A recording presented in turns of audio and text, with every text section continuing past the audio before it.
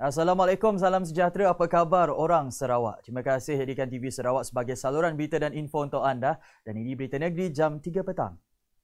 Tan Sri Dr. James Jemut Masing sama sekali tidak bersetuju dengan langkah Kerajaan Persekutuan mewujudkan Majlis Pengurusan Komuniti Kampung MPKK kerana ia adalah suatu percubaan campur tangan dalam hal ehwal Sarawak. Timbalan Ketua Menteri Sarawak itu berkata Sarawak kini sudah lebih daripada cukup untuk dicampur tangan oleh kerajaan pusat bagi tempoh sudah beberapa tahun. Tegas beliau, ini termasuklah aset Sarawak yang telah digunakan untuk membina prasarana di Semenanjung Malaysia. Beliau berkata demikian ketika mengulas kenyataan setiausaha PKR Vernon Kedit dan pengurusi Pakatan Harapan PH Sarawak Chong Cheng Jen mengenai penubuhan MPKK di Sarawak.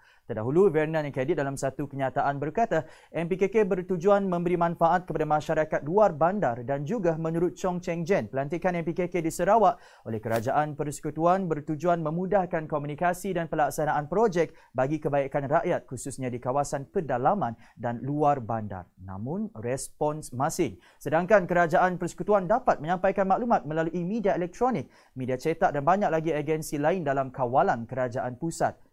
Justru masing beranggapan MPKK hanya untuk memecahkan masyarakat Dayak dan pada masa yang sama beliau menegaskan pihak berkuasa tempatan adalah dalam bidang kuasa kerajaan Sarawak. Justru tidak salah baginya menguatkuasakan kuasanya dalam kes pelantikan anggota MPKK. 15 loji rawatan air termasuk tujuh di bahagian Seri Aman berada di tahap amaran susulan musim cuaca kering dan panas yang masih berterusan di seluruh negeri Sarawak. Jabatan Bekalan Air Luar Bandar JBLB Sarawak menerusi kenyataan media hari ini berkata paras air mentah Sungai Undop di loji rawatan air Bayai di Seri Aman naik ke paras 2.9 meter namun masih berada di tahap amaran walaupun berlaku hujan semalam. Lima pusat pengumpulan air berpusat terus beroperasi di Seri Aman dan JBLB bahagian akan menambah lagi beberapa pusat pengumpulan air yang baharu. Namun demikian, JBLB Sarawak memaklumkan kepada para pengguna agar tidak perlu risau dan khawatir kerana agensi sentiasa bersiap siaga dalam menghadapi sebarang kemungkinan krisis yang berlaku. Justru itu, JBLB juga memohon kepada para pengguna yang berada di kawasan pada tahap amaran untuk menggunakan air secara berhemah dan berjimat cermat sepanjang musim cuaca panas dan kering ini. Jabatan Alam Sekitar menjelaskan secara keseluruhannya kebakaran hutan di Sumatera dan Kalimantan Indonesia masih menjadi sebab kepada jerebu merentas sempadan di negara ini. Katanya dalam satu kenyataan ia memberi kesan kepada peningkatan bacaan IPU di semua kawasan di sepanjang pantai barat dan selatan semenanjung Malaysia, bahagian barat Sarawak dan sekitar kawasan Tawau dan Sandakan Sabah.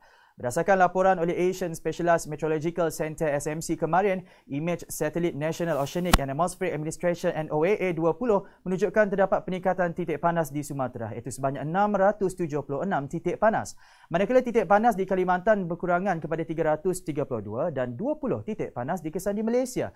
Media Indonesia melaporkan sejak Januari lalu lebih 300,000 hektar kawasan hutan di Indonesia terbakar. Menurut JS lagi, peta jerebu serantau dikeluarkan SMC SMC pada Sabtu perlu menunjukkan kluster titik panas di Sumatera Tengah, Sumatera Selatan, Riau dan Jambi berterusan melepaskan asap jerebu pada tahap sederhana sehingga tebal. Baiklah Peta Negeri jam 3 petang berakhir di sini namun teruskan kesetiaan anda bersama kami di TV Sarawak untuk info terkini. Kami Ghazali Zawawi. Assalamualaikum. Salam hormat.